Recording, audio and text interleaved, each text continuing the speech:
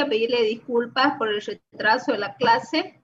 Tuve un, imprevisto que tuve que salir de mi domicilio y bueno, eh, a disculpar ya. Iniciamos, por favor, vamos a... Ustedes ya han debido leer todo lo que es la plataforma, entonces bien rapidito vamos a, a repasar toda la parte introductoria de vectores para poder ingresar a lo que es operación entre vectores. Y entonces vamos a hacerlo bien rápido, no es necesario que la clase esté grabada, porque toda esta clase está dentro de la plataforma. Entonces decimos que una magnitud física es un valor asociado a una propiedad física o cualidable medible de un sistema físico. Estas magnitudes físicas se miden usando un patrón que tenga bien definida esa magnitud. Ejemplo, el patrón principal de la longitud es el metro, ¿no? En el sistema internacional de unidades. Las magnitudes físicas pueden ser clasificadas de acuerdo a varios criterios. De acuerdo a un criterio de expresión matemática, las podemos clasificar en escalares, vectoriales, que es el tema que vamos a ingresar, y tensoriales. También la podemos clasificar según su actividad en magnitudes extensivas e intensivas. Las magnitudes escalares son aquellas que quedan completamente definidas por un número y las unidades utilizadas para su medida.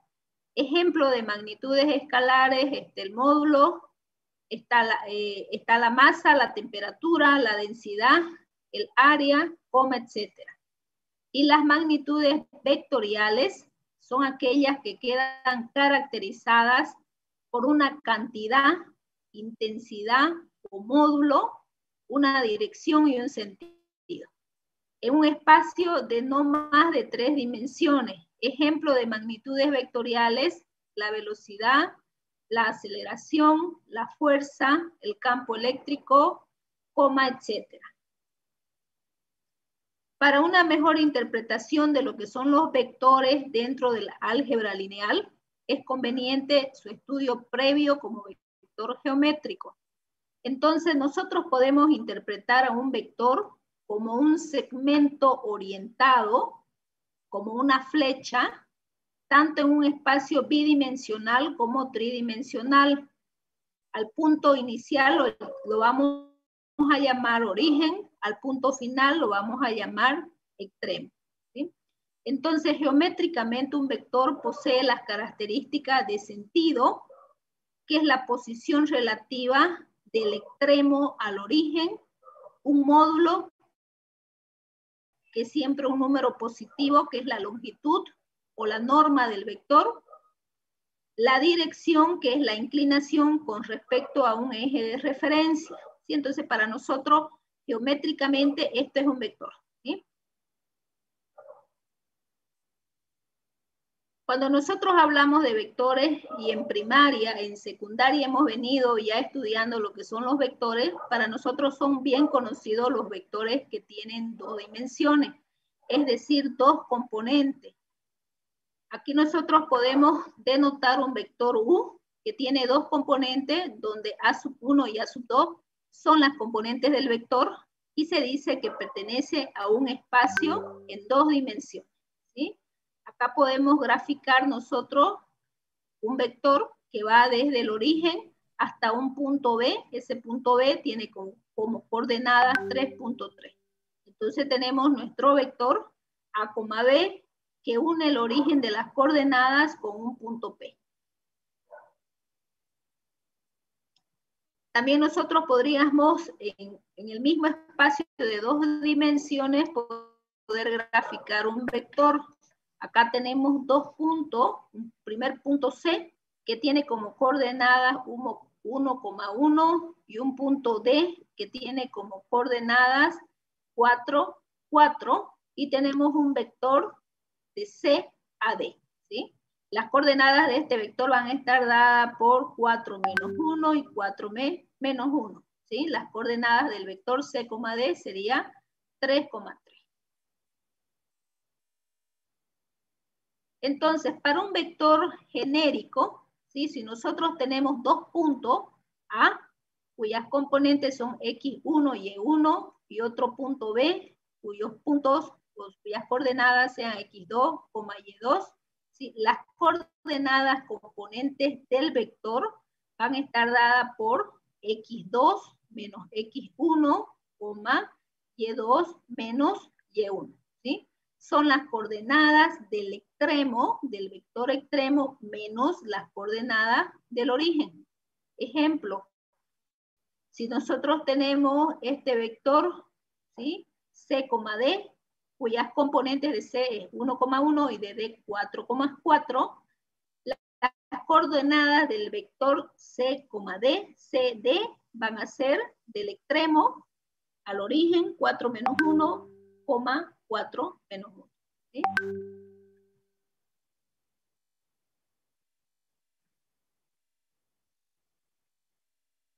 Tenemos también, hemos estudiado los vectores en el espacio de tres dimensiones. Un sistema de coordenadas tridimensional se construye trazando un eje Z perpendicular en el origen de coordenadas a los ejes X y Y. Cada punto viene determinado por tres coordenadas, P, el punto P, X, Y, Z. Los ejes de las coordenadas determinan tres planos, ¿no? Entonces, vamos a tener un plano X, Y, otro plano X, Z y otro plano Y, Z. Aquí nosotros podemos ver eh, gráficamente un vector que va desde el punto origen 0, 0, 0 hasta un punto 4, 8 y 7.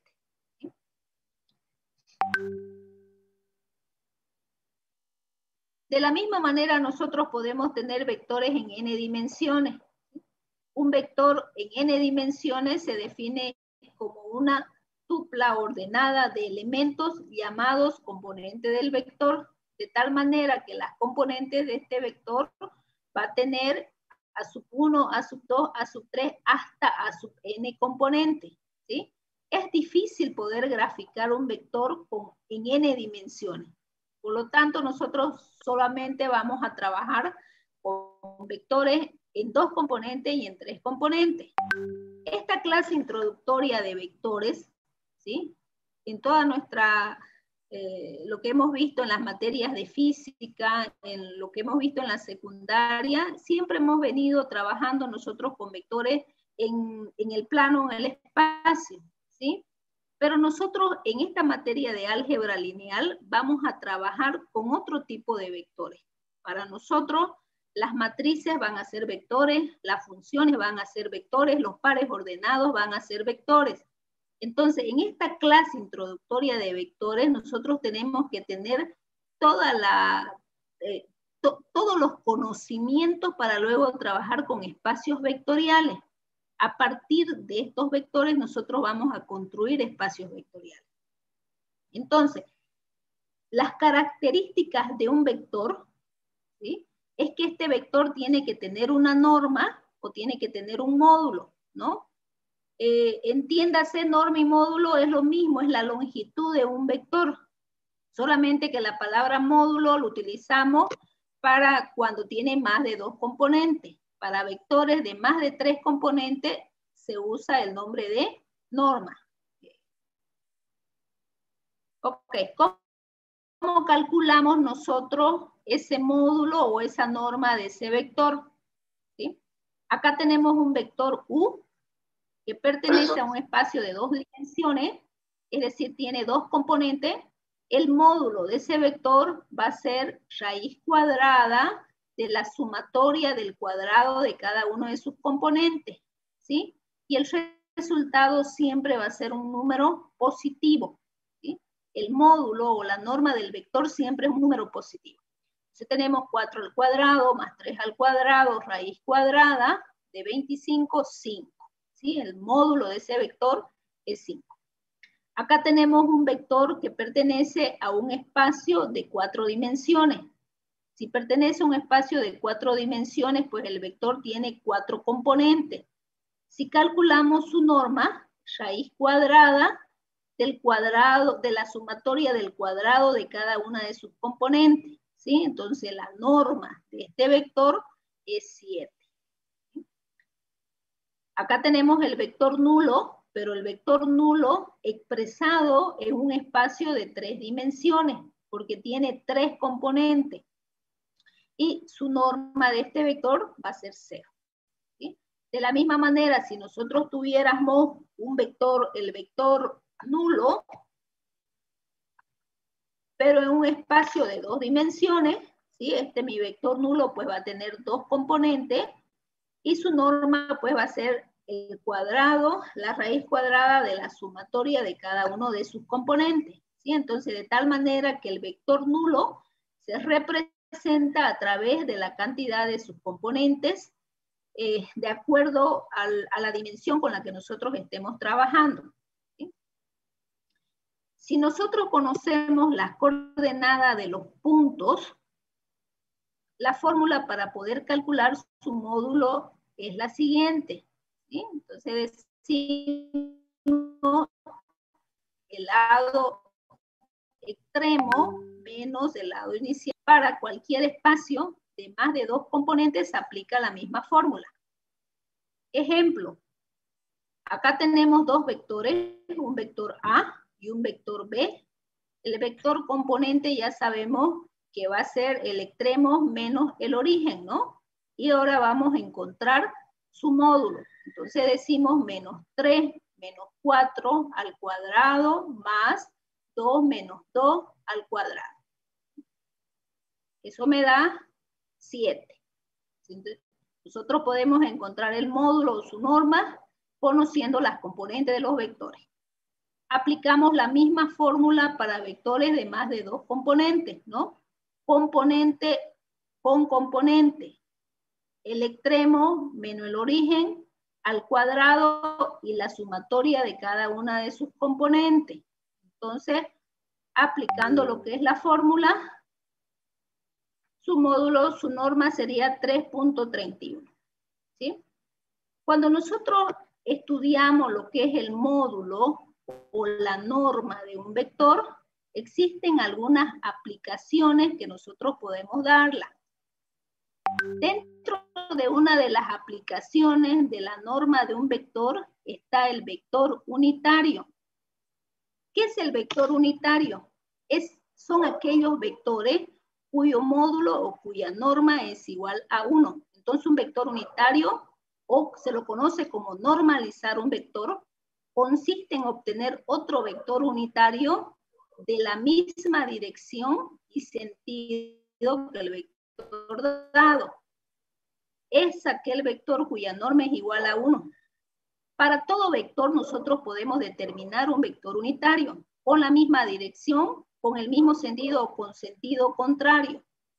Ejemplo, si nosotros tenemos acá un vector B que pertenece a un espacio en dos dimensiones, cuyas componentes van a ser B sub 1 y B sub 2, la magnitud de este vector viene dado por, acá tenemos la fórmula de su magnitud, ¿sí? el cuadrado de cada una de sus componentes, sumamos y sacamos raíz cuadrada, siempre va a ser, si esta magnitud de, este vector es distinto de cero, nosotros podemos encontrar un vector unitario, ¿sí? Entonces, vamos a multiplicar este vector por el recíproco de su magnitud, de tal manera que nos queda el vector unitario. Entonces, el vector unitario va a ser igual a 1 dividido entre el módulo del vector multiplicado por el vector. De esa manera nosotros podemos encontrar el, un vector unitario de, de, bueno, de cada uno de los vectores, siempre y cuando la magnitud debe ser distinta de cero. A ver, comprobemos esta formulita que nosotros tenemos acá. Vamos a comprobar que la magnitud de este vector es igual a 1. ¿Cómo lo comprobamos? Pues a partir de la fórmula. Tenemos esta fórmula de acá y lo que vamos a hacer, este vector B, lo vamos a representar por sus componentes, ¿no? Entonces tenemos el módulo de 1 sobre el módulo de vector multiplicado por las componentes del vector. el resultado va a ser el módulo de cada una de sus componentes dividido entre el módulo del vector. Aplicamos lo que es módulo, ¿sí? y el módulo ya sabemos que lo calculamos el cuadrado de cada una de las componentes, la sumatoria del cuadrado de cada una de las componentes elevado sacando raíz cuadrada. Entonces estoy calculando aquí este módulo, ¿no? Raíz cuadrada del cuadrado de cada una de sus componentes. Entonces el cuadrado de esta componente más el cuadrado de esta componente, raíz cuadrada. ¿sí? Aplicando lo que es el cuadrado o la potencia 2, pues aplicamos, sacamos el mínimo, este cuadrado se va con esta raíz cuadrada, y acá tenemos la fórmula del módulo, ¿no? ¿Sí? Reemplazando, simplificando, y esto nos va a dar igual a 1. Entonces, hemos comprobado que la magnitud del vector unitario es igual a 1. ¿sí? Lo único que estamos haciendo es demostrar. Hemos demostrado esa magnitud. ¿Y cómo lo hemos hecho? A través de la fórmula. Ejemplo. Dice, hallar un vector unitario de un vector de componentes B, cuyas componentes son 3,4, de la misma dirección y sentido. Y aparte también vamos a encontrar de sentido contrario. Entonces, para encontrar ese vector unitario, lo primero que tenemos que verificar que su módulo sea distinto de cero. Entonces, encontramos el módulo de este vector, el cuadrado de la primera componente, más el cuadrado de la segunda componente, raíz cuadrada. 9 más 16, 25, y esto es igual a 5. Es distinto de 0, por lo tanto yo puedo encontrar un vector unitario. Reemplazando en la formulita de vector unitario, ¿sí? El vector unitario es igual a 1 dividido entre el módulo del vector multiplicado por el vector. Entonces, las componentes 3 entre su módulo quinto, la segunda componente 4, entre su módulo 5, con la misma dirección y con el mismo sentido. Ahora, si me piden sentido contrario, pues lo que vamos a hacer es multiplicar este vector por un escalar menos 1. Entonces, el sentido contrario de mi vector unitario vendría a estar dado por lo siguiente, ¿sí? Menos 3 quintos y menos 4 quintos. ¿Sí?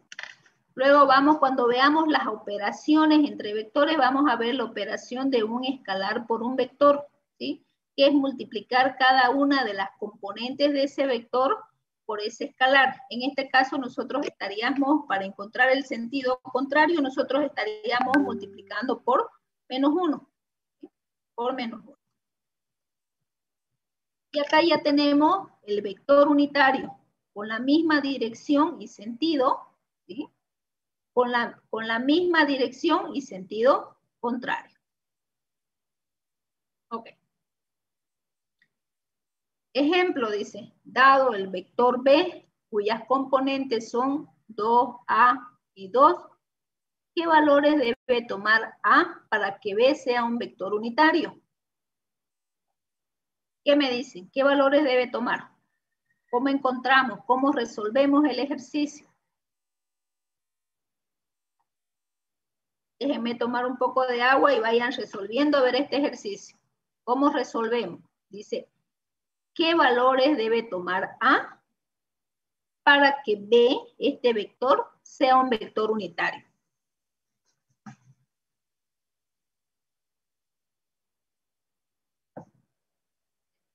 ¿Cómo lo calcularían? ¿Cuál es la condición? ¿Cuál es la condición para que sea un vector unitario? Que su módulo sea igual a 1, ¿no? Sí, entonces tendríamos que decir 1 es igual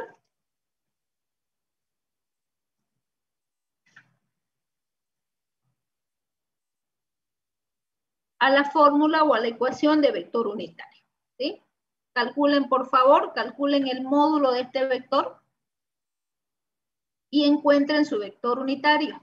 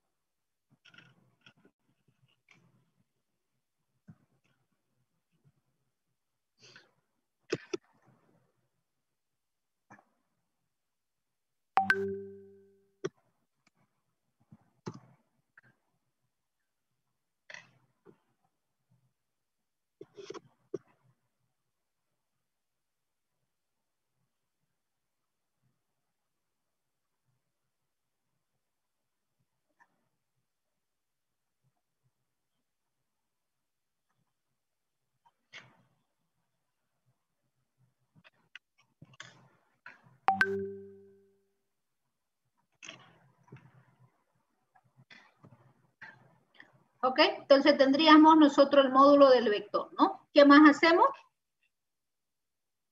¿Qué más haríamos? Reemplazando la formulita.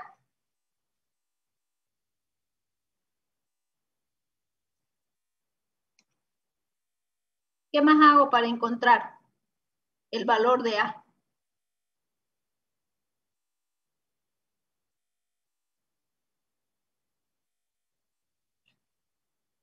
¿Qué hago, Manuel Flores, Víctor? A ver, prendan su, micrófono, ayúdenme ya a calcular. Tiene que, dividirlo el vector por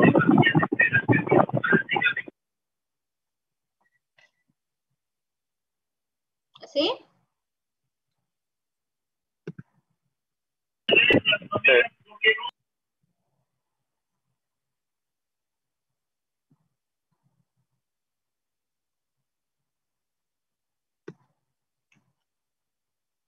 Esa sería su primera componente, ¿no? ¿Y cuál sería su segunda componente? La primera componente es 2, ¿no?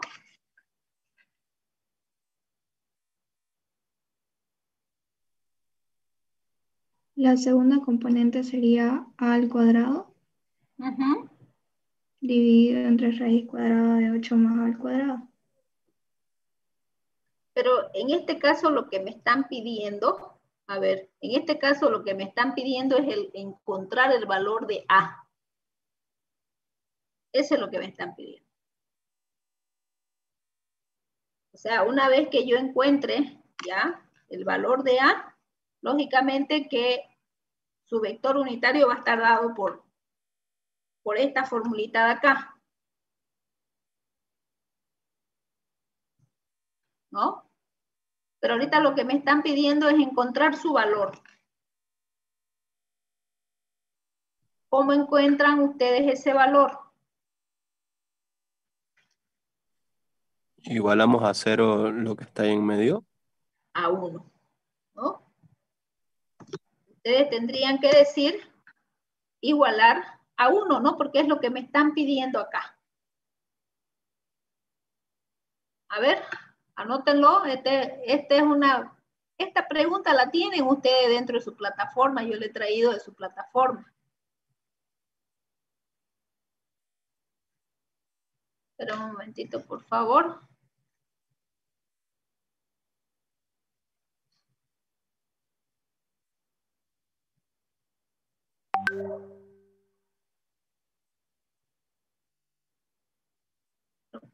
Estoy mandándosela a su, a su grupo de WhatsApp. Esperen un momento, por favor.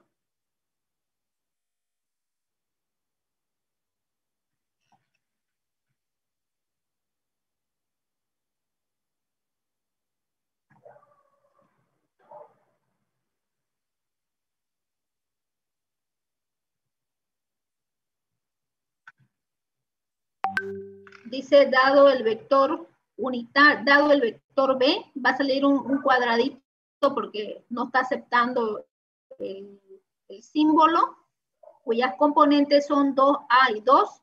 ¿Qué valores debe tomar A para que B sea un vector unitario? Tarea para la casa. Ok, vamos a seguir. Lo único que le digo es que tienen que igualarlo a uno, tienen que trabajar en ambos lados de tal manera que ustedes puedan despejar A. ¿sí? A partir de esta formulita de acá. Entonces, una de las aplicaciones de lo que es norma o módulo de vector es encontrar el vector unitario. Es muy importante conocer lo que es el vector unitario para poder después trabajar con lo que son las operaciones. Entonces el concepto es que el vector unitario es aquel vector cuyo módulo es igual a 1. ¿sí? Seguimos avanzando porque si no nos vamos a tardar bastante en el ejercicio. Otra de las aplicaciones es la distancia entre dos puntos. La distancia entre dos puntos es igual al módulo del vector que tiene de extremos dichos puntos. Entonces, nosotros tenemos acá dos puntos, a A y B, y la distancia entre dos puntos, pues, es el módulo del vector. Estamos aplicando lo que es el módulo o la norma de un vector. Cuando nosotros hemos descrito geométricamente lo que es un, un vector, hemos dicho que un vector posee las características de módulo. El módulo siempre es una cantidad positiva, es la longitud o norma del vector, un sentido, que es la posición relativa del extremo al origen, y una dirección. ¿sí? Esta dirección es la inclinación con respecto a un eje de referencia. Esta es la inclinación que nosotros vamos a encontrar de los vectores. ¿Cómo encontramos esa dirección? Esa dirección es el ángulo, ¿no? Y un ángulo es la abertura comprendida entre dos semirrectas que se cortan. Este ángulo puede estar dado en dos sistemas, el sistema sexagesimal y el sistema radial. El sistema sexagesimal es la medida del ángulo central subtendido por un arco igual a 1 sobre 360 de la circunferencia. Y un radián es la medida del ángulo central subtendido por un arco cuya longitud es igual a la del radio de la circunferencia. La equivalencia entre estas dos unidades es la siguiente. 2 pi radianes es igual a 360 grados sexagesimales o un pi radian es igual a 180 grados sexagesimales. La dirección del vector es el ángulo que forma la recta que lo contiene con el eje de la abscisa, es decir, el eje horizontal. Ejemplo, dado el vector B, un vector que pertenece a un espacio en dos dimensiones cuyas componentes son B sub 1 y B sub 2, el ángulo que forma con el eje de la abscisa es alfa, se va a llamar mi ángulo, y lo encuentro a través del arco tangente. B sub 2 sobre B sub 1 con un B sub 1 distinto a 0. Ya saben ustedes que la división entre 0 es, es error, ¿no? Entonces, de esta manera nosotros podemos encontrar el ángulo. Ejemplo, acá tenemos nosotros un vector B cuyas componentes son 2 y 3 encontramos el módulo de ese vector, el módulo de ese vector viene dado por 2 al cuadrado más 3 al cuadrado, raíz cuadrada, raíz cuadrada de 13, ¿sí? Ese es el módulo, la longitud de mi vector. Como solamente me dan un punto, pues del extremo del origen 0,0 a ese punto, ¿no? 2 para X, 3 para Y. Entonces mi vector viene del, origen hacia el punto extremo. Y su módulo, su longitud, es raíz cuadrada de 13. ¿Cuál es el ángulo que forma? El, el ángulo que forma va a estar dada por el arco tangente de 3 entre 2. 3 entre 2 y eso es igual a 56.3 eh, grados. 56.3 grados sexagesimales. ¿sí? Ustedes saben que siempre acá tenemos un ángulo recto, ¿no? 90 grados. Entonces, si vamos a tener acá 56.3, con este eje tiene que darme 90 grados, que son los ángulos complementarios. Cómo se complementa para poder obtener 90 grados. Entonces, de esa manera nosotros vamos a calcular el ángulo que forma con nuestro eje de referencia. ¿Qué más? A ver, vemos como parte teórica. Bueno, acá era otro ejercicio que habíamos realizado. Y habíamos calculado el ángulo de un vector. Acá tenemos un vector cuyas componentes son menos 2 para el eje de las X y 1. Menos 2 y 1 es un vector que va desde el origen hasta ese punto. ¿sí? Si encontramos nosotros su módulo, cada una de las componentes elevado al cuadrado, sumamos, su módulo es raíz cuadrada de 5, ¿sí? y encontramos su ángulo su ángulo viene dado entre 1, entre menos 2, y eso es igual a menos 26.3 grados. ¿sí?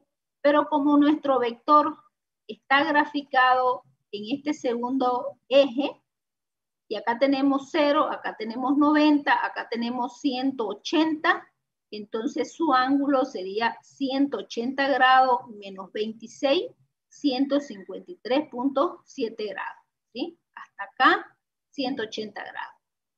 Entonces no podemos poner menos 26, ¿no? Sería 180 menos 26 grados, que me da 153.7 grados.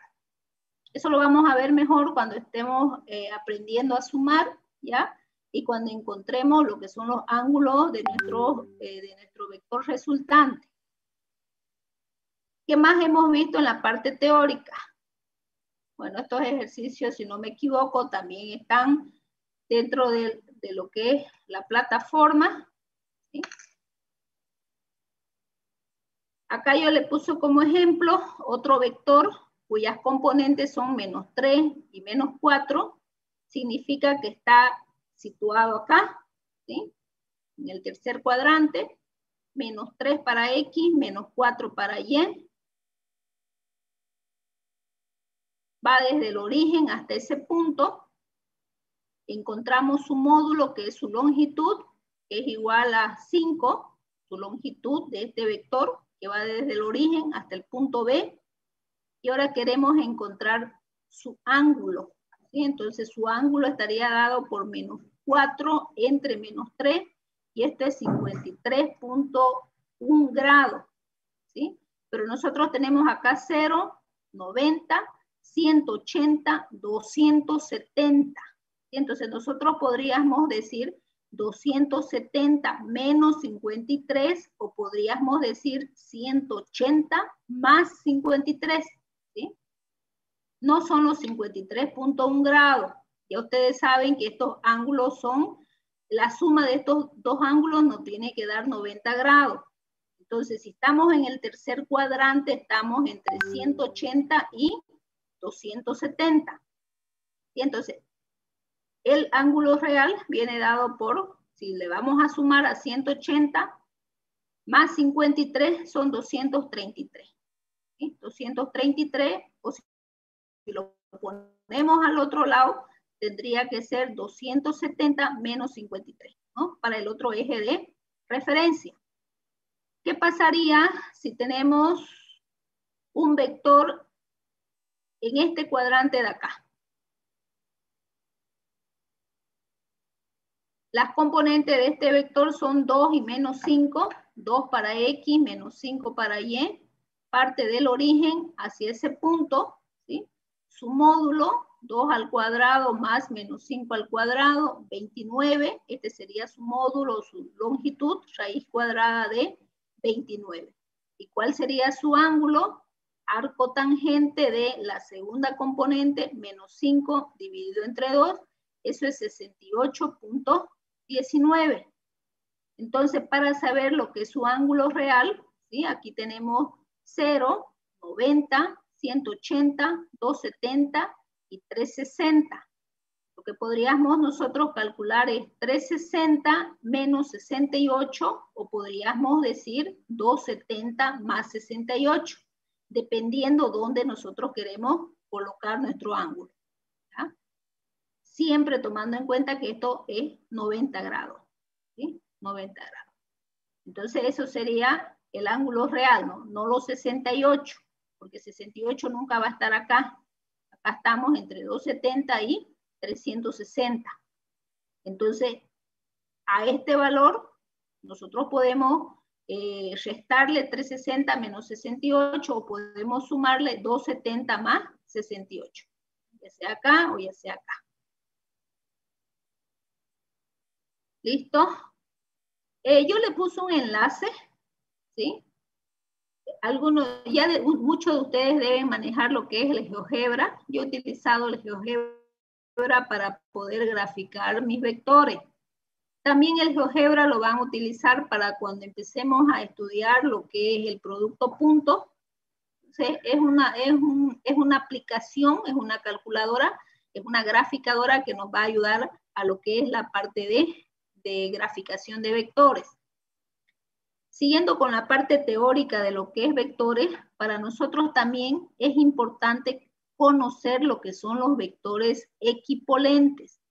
Decimos, dos vectores son equipolentes cuando tienen igual módulo, dirección y sentido, ¿sí? Y lo vamos a denotar de la siguiente manera.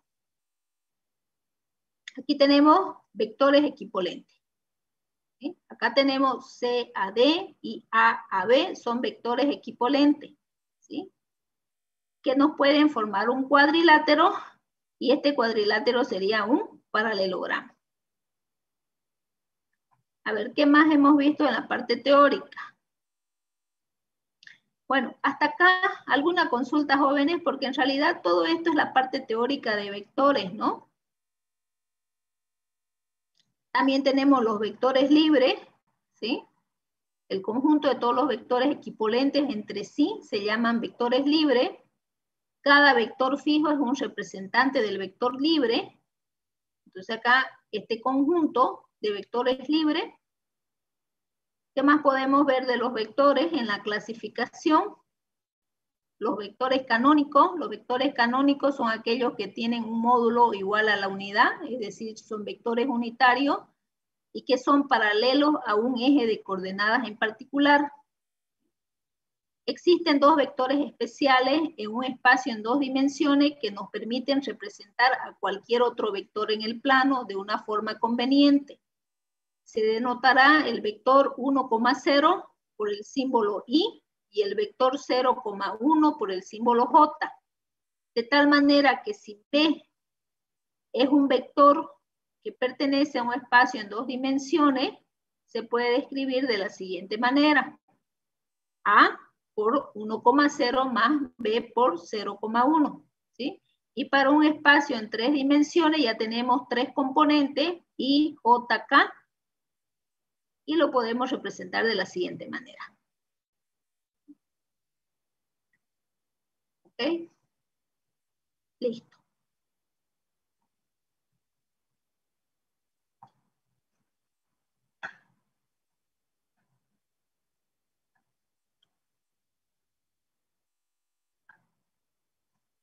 Bueno, eh, toda esta parte es una parte teórica, ¿sí? Necesito que la lean. Ya yo he colocado aquí algunos ejercicios que ustedes tienen que hacer. Vamos a adicionar el ejercicio anterior y se los voy a pasar ya.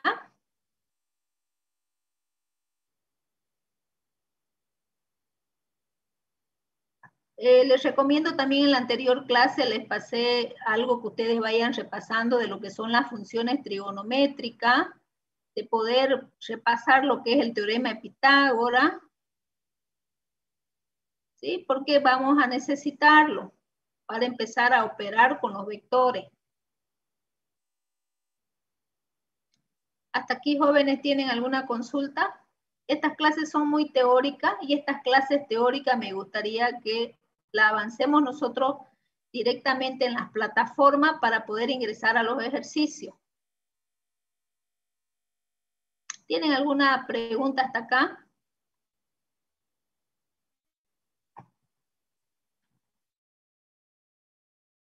¿De la teoría? No, ingeniera. No, no nos gusta mucho la teoría, ¿no? Entonces tendríamos que buscar una forma de poder avanzar en la parte de los ejercicios, ¿no? Ya.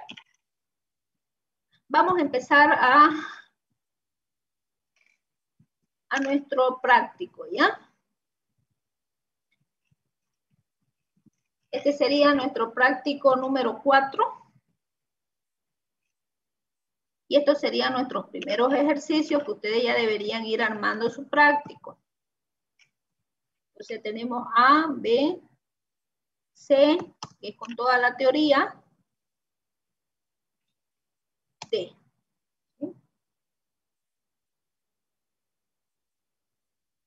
Vamos a ver si no he puesto otros ejercicios más.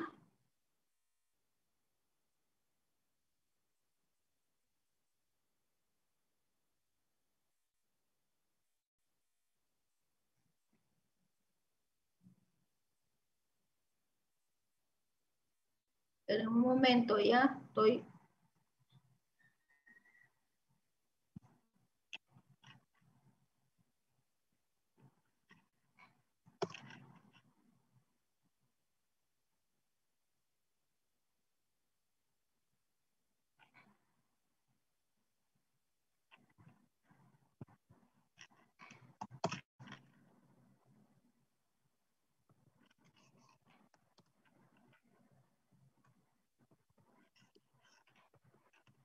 Ok.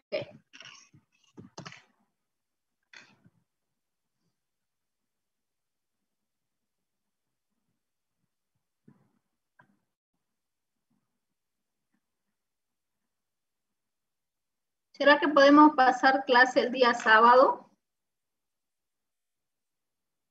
¿Tienen alguna clase el sábado a las siete y media, a las ocho? Sí, ingeniera. ¿De qué tienen clase? Ayudantía. ¿De la mañana, disculpe? No la escuché bien. En la mañana, pues en la mañana. Tengo ayudantía a esa hora, toda la mañana. Por dos, por dos. Por tres, por tres. Sabe que estoy atrasada con ustedes. La verdad que ha sido un poco complicado. Esta semana hemos tenido consejo y la verdad que me he descuidado de su materia. Tanto que recién voy a empezar a, a corregir sus exámenes. Entonces, si no podemos pasar el día sábado, pues tendríamos que pasar el día lunes, ¿no? No nos queda más. Eh, le, eh, ¿Le paso la lección? ¿Se la paso? ¿Y el práctico? Sí, por favor. Sí, ingeniero, por favor. Para que vayan avanzando. Entonces, si no quieren clase, van a leer y van a ir avanzando ustedes, ¿ya? Ya, ingeniero.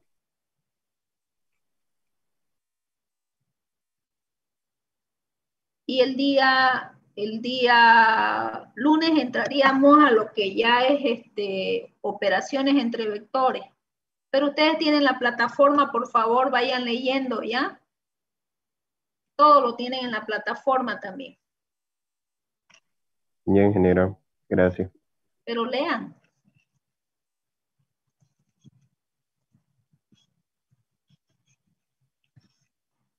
Un momentingo, le estoy pasando.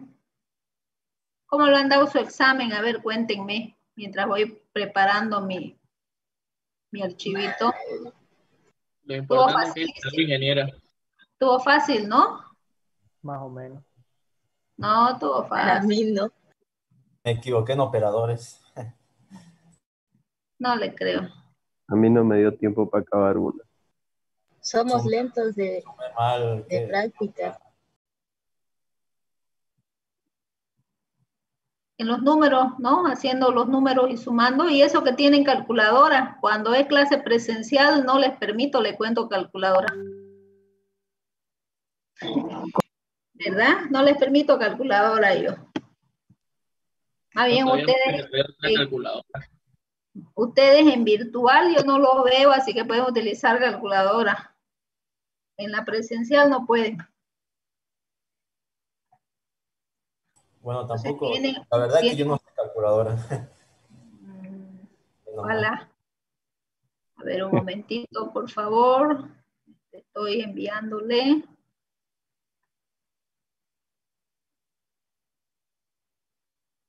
Vamos. Pero esta segunda parte que estamos ingresando ya es bonita. Espacios vectoriales es bonito, no es complicado. Esperen un momento. Esperen. Escuche, Primera clase de vectores.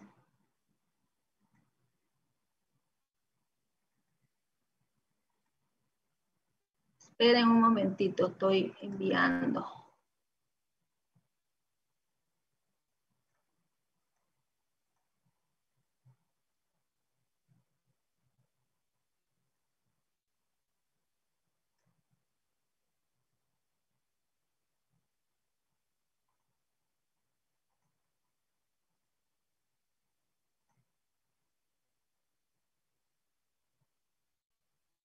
Ok, se fue.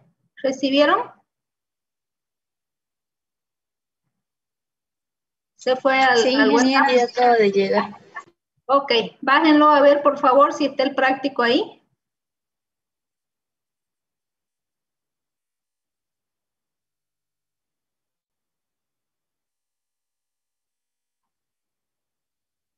Está, ¿no? Bueno, si no vamos Sí, a pasar está. clase el sábado, Sí, ingeniera, está entonces, práctico. ya, si no pasamos clase el sábado, el sábado yo voy a trabajar en sus exámenes, de tal manera que les doy la- las notas del examen, se las doy el día lunes, ¿ya? Si no paso clase, pues tengo que trabajar corrigiendo. Bien, ingeniera. Perfecto. ¿Ok? Listo, jóvenes, vámonos a descansar, ¿ya? Bien, Hasta luego. Gracias. Hasta Hasta luego. Hello. Hello. Hello, Hello.